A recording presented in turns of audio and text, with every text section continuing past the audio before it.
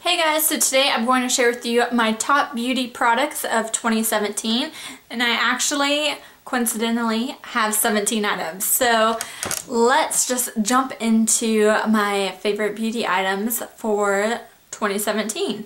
First thing is a highlighter. Oh my gosh guys, this is the Becca Shimmering Skin Perfector Pressed in the shade Moonstone.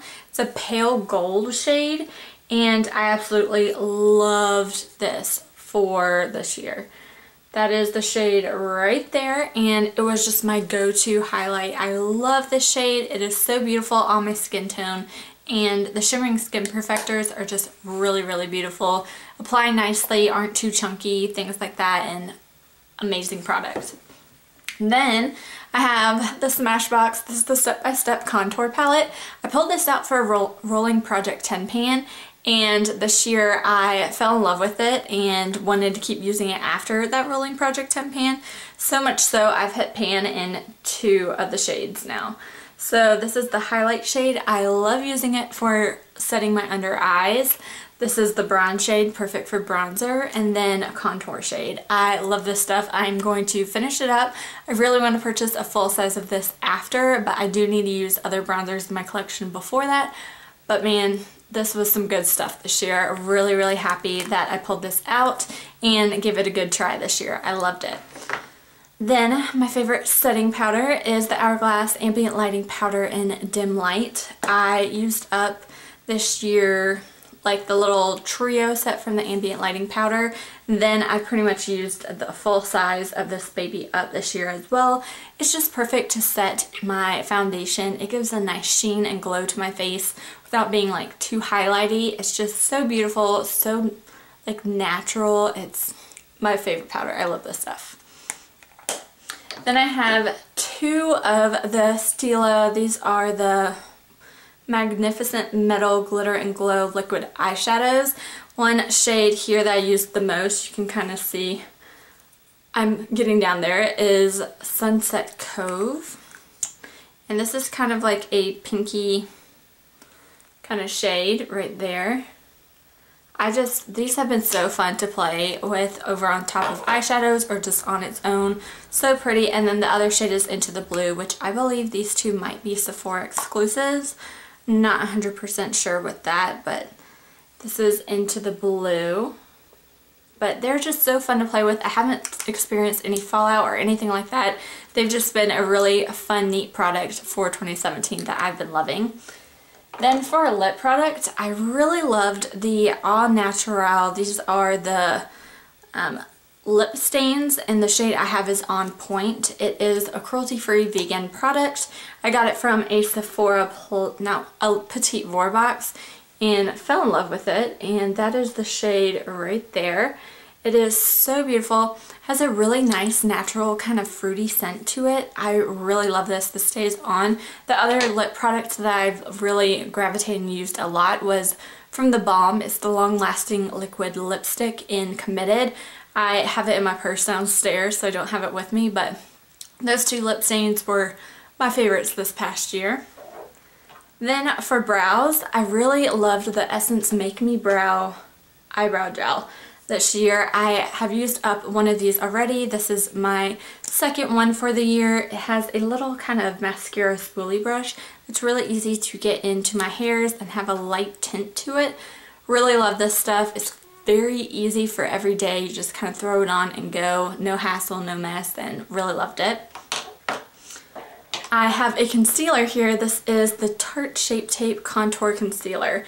And I got this in June or July of this year. And there's so much buzz and rave, rave reviews and stuff about this product. I kind of kept pushing it off. I was like, eh, it's just a concealer, just like NARS concealer and the Too Faced and the Urban Decay everyone's all obsessed with, but this seriously after trying it is amazing. The shade I have is light neutral. It has this huge doe foot applicator. I would not recommend to apply it to your face like that. I just honestly will take it out, pat it on the back of my hand, and then that's all I need. I just kind of dab my finger and then just apply it under my eyes, any blemishes, things like that. This will last you a while. You only need a little bit. You do not need to smear all over your face to cover anything up.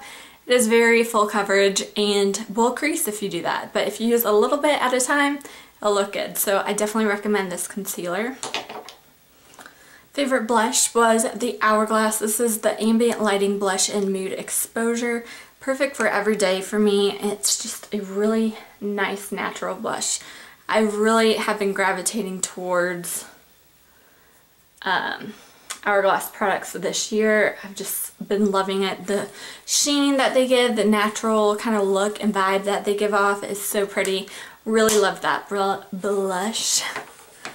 Uh, primer I really loved was the NYX High Definition Eyeshadow Base and this is from the drugstore and it has a kind of little applicator that looks like that. It's very easy to swipe on your eyes, pat down, and does a really great job at keeping my eyeshadow lasting all day. Really love this stuff. Then I have from NYX, this is the Epic Ink Liner. Now you guys know I love the Stila Stay All Day Liquid Liner. Found out that there were parabens in it this year and this one doesn't. This is also drugstore, cheaper, and the line on this is so pretty. So it is what's on my eyes today. I really love this stuff. This is a perfect cruelty-free, drugstore, paraben-free liquid eyeliner. It's very black, stays on all day, and gotta love it. Foundation, Urban Decay Naked Skin. I don't know how many times I can tell you guys. This is an amazing foundation. I wear it every day and it's my favorite, shade 3.5. Skincare, I found a new face wash. This is from Pacifica. This is the Sea Foam Complete Face Wash. It says removes makeup and cleanse and tone. And I use this after I remove my makeup and then, or sometimes I use this just to remove my makeup for my face, not my eyes. But I really like this stuff. It's very, like, fresh. I don't know if that's the word I would say. Like, if you have sensitive skin, this is perfect for you. It doesn't have a scent or anything to it, or any, like, exfoliating particles. It's just a really nice, like, cleanser. I don't know how else to say it. I don't really, I'm like missing the word in my head or something, but I really like this cleanser, I would definitely check it out. Wow, that was difficult. Then my favorite moisturizer is the Ole Henriksen Sheer Transformation Perfecting Moisturizer. Use this pretty much every day. I absolutely love this stuff. Perfect for day and night. Then I found a new body lotion. These are the Body Shop Body Butters and I have not tried them out ever before. This is the first year I tried them out. Um, I was recently using a lot of Bath & Body Works body lotions and body tubs like this, but they have some chemicals in there I am not a big fan of, and the cruelty-free status is kind of wavering. So a Body Shop is 100% cruelty-free, and I first picked up, this is the Mango Body Butter. This is my second or third one of these. smells so good, so moisturizing. I love it for using all over my body. So this is like my second or third. And then this next one I'm almost done with. This is the Vanilla Chai. I believe it was just here for the holidays, but so good. You guys can tell I've been scraping and digging out of this one. But those have been like my favorite lotions of this past year. And then lastly, hair, the Verb Hydrating Conditioner. I love this stuff so much. I tried a sample of it, got a small, purchased like a small bottle, and then purchased the big jug always having this in my shower. Love it. It's just really nice hydrating conditioner. Can't go wrong with that. But yeah, those are all the items that I was loving in 2017. If you guys tried any of these products out, let me know what you thought of them down below. If you have any recommendations for me to try this upcoming year, let me know as well. And I'll talk to you in my next one. Thanks for watching.